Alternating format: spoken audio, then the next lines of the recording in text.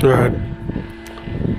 Let's get to cooking about this fucking race riot going on down there in uh in UK.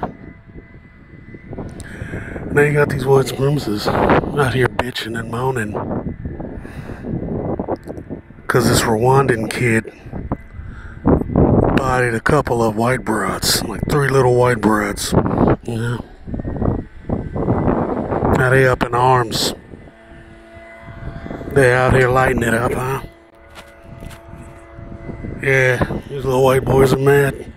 The Aryans out here throwing a damn temper tantrum. Talking about taking their goddamn country back, and I hope it spreads here. Cause I'm ready. But here's the deal.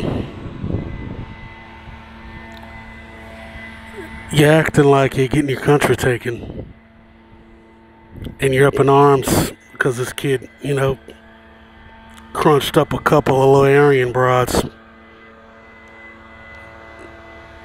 But where was all that smoke when that white man killed that kid with a sword a couple of weeks ago? Where was all that smoke when Lucy Letby killed a bunch of babies in the UK? Huh? Yeah. Yeah. See, this ain't about this ain't about them three white broads that got bodied by the kid from Rwanda, by the child from Rwanda. No, no, no, no, no. This is about race. It's always about race.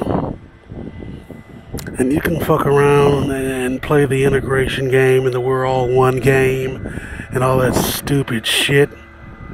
But no, it's always going to be race. These are your racial enemies, and you niggas need to realize that.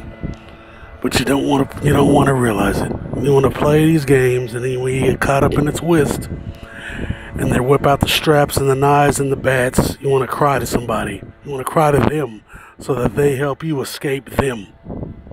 Always chasing the kindness of monsters. Always. Well, don't cry now, motherfuckers. Because it's go time.